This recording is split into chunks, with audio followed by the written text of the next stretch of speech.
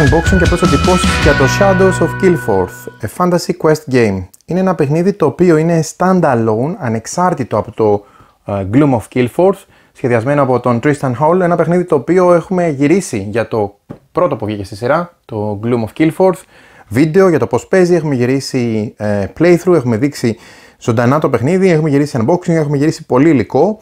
Μας άρεσε πάρα πολύ τόσο για το διαφορετικό τρόπο προσέγγισης στο Fantasy Quest ε, ε, είδος, σαν κατηγορία, όσο και για τα μηχανιστικά του στοιχεία, αλλά και την ιδιαίτερη ε, χρειά που έχει στο art κτλ. Παιχνίδι το οποίο είναι θεματικό, παιχνίδι που ανοίξει κατηγορίες card game, dice game, expansion for base, for base game και fantasy. Χρησιμοποιεί βασικούς μηχανισμούς ε, role playing, dice rolling, χρήση ζαριών δηλαδή, συνεργατικό παιχνίδι, έχει modular board και ε, variable player powers. Να πούμε εδώ ότι ε, κάνει integrate με το Gloom of Killforth, έτσι. Εδώ το Shadows of Killforth είναι το sequel του standalone ε, και standalone expansion, δηλαδή είναι και standalone και expansion ουσιαστικά. Παίζει όμως και αυτόνομα στο πρώτο παιχνίδι όπως είπαμε. Είναι ένα παιχνίδι το οποίο ε, έχει ε, high fantasy και gothic ε, επιρροές βασικά. Παίζει από 1 έως 4 παίχτες, παίζει πολύ καλά και σαν solo. Οι παίχτες δουλεύουν ε, είτε μεμονωμένα είτε μαζί προσπαθώντας να πάρουν τους ρόλους ηρώων σε ένα ταξίδι μέσα από ένα σκοτεινό κόσμο ε, μαυρίλας, μαγείας και, και δυσκολιών. Προσπαθούν να επισκεφθούν δύσκολες και επικίνδυνες περιοχές, να, να ανακαλύψουν και να κάνουν αλληλεπίδραση με ανθρώπους που δεν έχουν ε, πάντα την καλύτερη ε, θέληση και πρόθεση, περίεργους ανθρώπους λοιπόν και φυσικά να νικήσουν δύσκολες, ε, δύσκολους εχθρούς και δύσκολες δυνάμεις. Πάμε λοιπόν να ανοίξουμε το κουτί και να δούμε τι υπάρχει εδώ μέσα. Ε, να πω εδώ ότι έχει γίνει ήδη το unboxing, αλλά ωστόσο νομίζω ότι αξίζει να σας το δείξω γιατί όσοι είναι φίλοι του ε, Gloom of Killforth σίγουρα θα το εκτιμήσουν. Δεν χρειάζεται να έχει κάποιος το προηγούμενο για να παίξει αυτό, μπορεί να πάρει κατευθείαν αυτό. Μέσα στο παιχνίδι υπάρχουν λοιπόν location cards, κάρτες αποθεσιών, κάρτες night cards, saga, plot cards, race cards, φιλών, uh, ancient cards, skill cards, εδώ υπάρχουν και dividers, uh, διάφορα token όπως έχει και στο προηγούμενο, διάφορα περιεχόμενα και λεπτομέρειες, κυρίως encounter card και uh, location. Θα σας δείξω πώς είναι το παιχνίδι στημένο, δεν αλλάζει το πώς είναι στημένο όπως και στο βασικό, έτσι. Αυτό που αλλάζουν είναι οι τοποθεσίες, οι ιστορίες, ε, τα saga chapters που προφανώς είναι διαφορετικά, τα classes, οι ήρωες και αντίστοιχα όλες αυτές οι λεπτομέρειες. Αυτό είναι το παιχνίδι στημένο όπως ήταν και στο Gloom of Killford. Δεν θα αλλάξει κάτι. Αυτό που αλλάζει είναι η ποικιλία προφανώς. Εδώ είναι η ανατομία των καρτών. Το φυλάδι βέβαια το εξηγήνει να μην έχετε ξαναπέξει Gloom of Killford, οπότε τα έχει όλα. Η ανατομία των καρτών, εδώ είναι τα races, εδώ είναι τα classes, εδώ είναι τα skills, και εδώ είναι τα saga cards, όπως ακριβώς και στο προηγούμενο, η διαδομή του rulebook. Τα encounters, κάρτες λοιπόν ε, την ανατομία των καρτών, τα rewards, τους ancients και τα plots και οι night cards έχουν αυτή τη δομή. Θέλω να πω ότι αν κάποιος έχει παίξει στο Gloom of Killford θα ξεκινήσει κατευθείαν να παίζει το παιχνίδι. Δεν υπάρχει ε, δυσκολία. Αν κάποιος δεν το έχει παίξει, μπορεί να ξεκινήσει και από αυτό. Αν του αρέσει περισσότερο το art, οι ήρωες ή οι τοποθεσίες από ό,τι στο προηγούμενο. Πώς κερδίζουμε το παιχνίδι, πώς παίζουμε το παιχνίδι, Daylight Phase, Breaking Camp, Daylight Turns και Hero Turn. Εδώ βλέπουμε τις ενέργειες, εξηγούνται οι ενέργειες, μπορείς να κινηθείς από τοποθεσία σε τοποθεσία, να κάνεις clear, να κάνεις hide, να κρυφτείς, να ψάξεις, να κάνεις confront. Και εδώ είναι τα διάφορα test, πώς γίνονται, τα reward και το καθεξής. Το παιχνίδι είναι πολύ ενδιαφέρον, ε, πολύ ωραίο για solo. Μας άρεσε πάρα πολύ εδώ στο επιτραπέζουμε. Και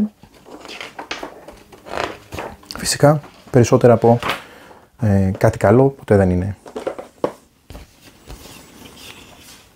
Δεν έχουμε παράπονο για κάτι τέτοιο. Λοιπόν, εδώ υπάρχουν τα variants. 2 vs 2 team play, aggressive enemies, campaign play, feather. Ε, εδώ μέσα κάποια να είναι έξτρα αυτό το uh, standalone expansion. Fate manipulation, follow action, fortified keep, gloomy city, quest, shared saga.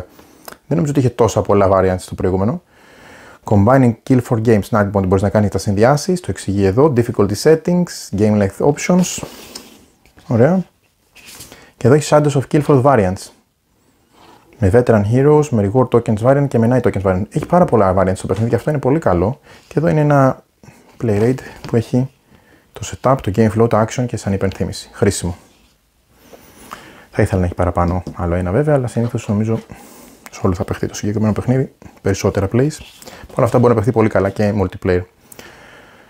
Πάμε να δούμε τι βρίσκουμε μέσα στο υπόλοιπο κουτί. Λοιπόν, εδώ είναι τακτοποιημένα σε σακουλάκια. Τα token είναι τα token τα οποία έχουμε δει για τα action point μαύρα και health point κόκκινα από το ε, προηγούμενο παιχνίδι, δεν αλλάζει κάτι. Αντίστοιχα υπάρχουν τα λευκά obstacle, τα πράσινα hidden και τα κίτρινα που είναι τα gold, είναι ακριβώς τα ίδια περιεχόμενα. Δεν αλλάζει τίποτα εδώ. Αυτά λοιπόν τα ξύνα περιεχόμενα είναι τα ίδια που έχει και στο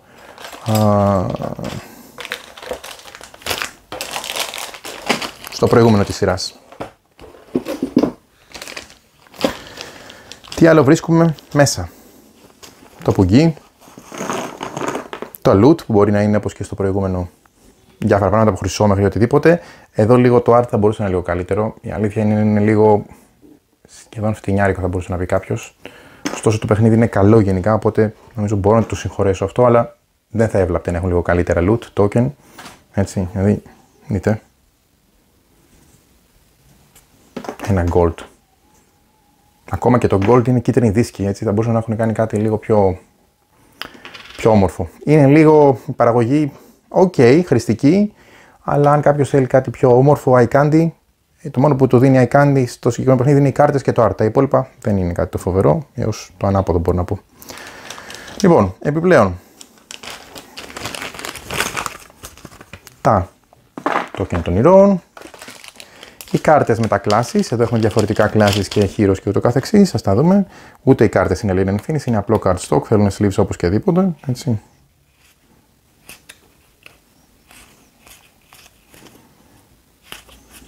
Αυτά είναι λοιπόν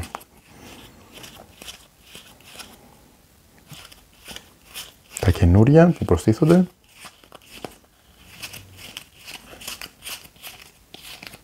Ωραία. Επόμενο που βρίσκουμε είναι τα dividers, τα οποία ομολογώ ότι καλά σαν ιδέα, αλλά δεν είναι πολύ καλό το insert, δυστυχώς, οπότε δεν μπορώ να βάλω τις κάρτες μου απλά έτσι. Ε, πρέπει να γίνει κάποιο custom δουλειά έτσι, ώστε για να μπορέσει να είναι λίγο πιο χρηστικό. Πάμε να δούμε τώρα λοιπόν μερικές ε, καρτούλες. Είναι σλιβαρισμένε οι κάρτες, οπότε θα το βλέπετε με sleeves. Απλά να δείτε λίγο το art. Είναι διαφορετικό κάπως από το art του προηγούμενου.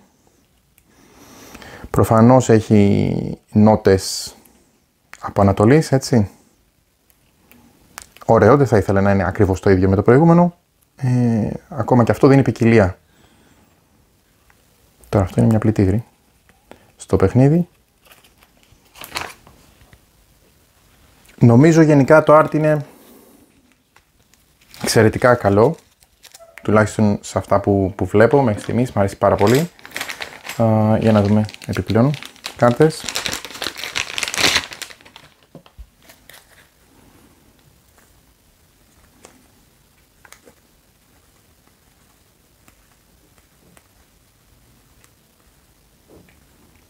Τολμώ να πω ότι προσωπικά πάντα ίσως μου αρέσει και περισσότερο από το προηγούμενο. Έχει ανθρω μορφικά χαρακτηριστικά, δηλαδή φαίνεται ότι μάλλον είναι κάποιο render μεταξύ φωτογραφιών και δεν, είναι, δεν νομίζω ότι είναι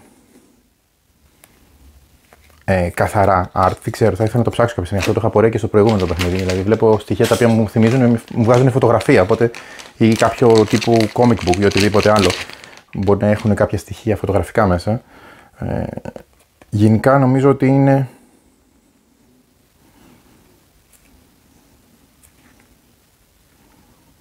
Πολύ ωραίο το art του. Μεγάλο. Οι κάρτες έτσι συνεχίζουν να έχουν την ίδια μορφή και δομή. Δεν σχολιάζω σε αυτό. Μου άρεσε πάρα πολύ και στο πρώτο. Ε, ίσως να παιχτεί περισσότερο από το. Γιατί το έπαιξε μερικές φορές και επειδή βγαίνουν πολλά παιχνίδια, μπήκε στο, στο ράφι δυστυχώς. Θέλοντας να το παίξει ωστόσο κι άλλο. Νομίζω όμως ότι τώρα θα κάνω switch σε αυτό εδώ. Γιατί ε, τουλάχιστον από το θέμα το, το οπτικό στο art μου φαίνεται ακόμα πιο ωραίο. Και δεν του το έχω ομολογώ. Οπότε πολύ χαίρομαι γι' αυτό.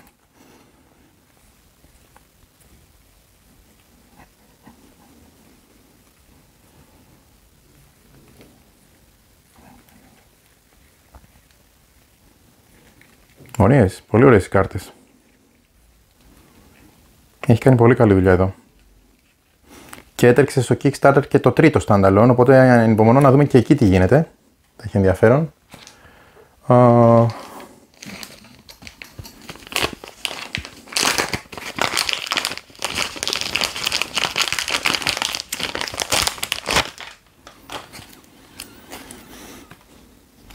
Αυτές είναι night cards.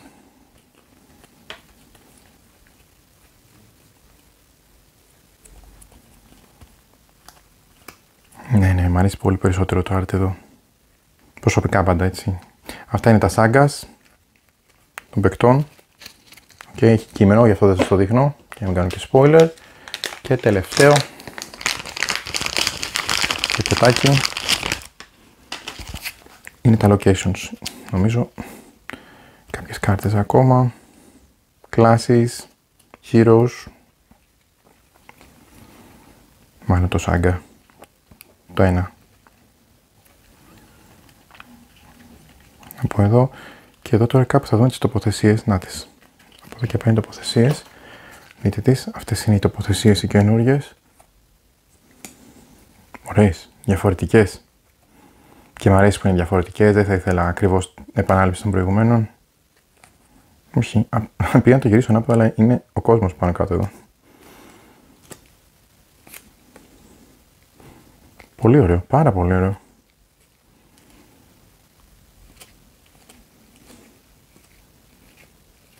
Μπράβο, φανταστική δουλειά εδώ. Ωραία. Αυτά λοιπόν είναι τα περιεχόμενα. Φυσικά υπάρχουν κάποια token, κάποια ζάρια και κάποια σταντήσεις όπως υπήρχαν και στο προηγούμενο και ε, κάποια night tokens αντίστοιχα. Αυτά λοιπόν είναι τα περιεχόμενα του Shadows of ε, Killforth.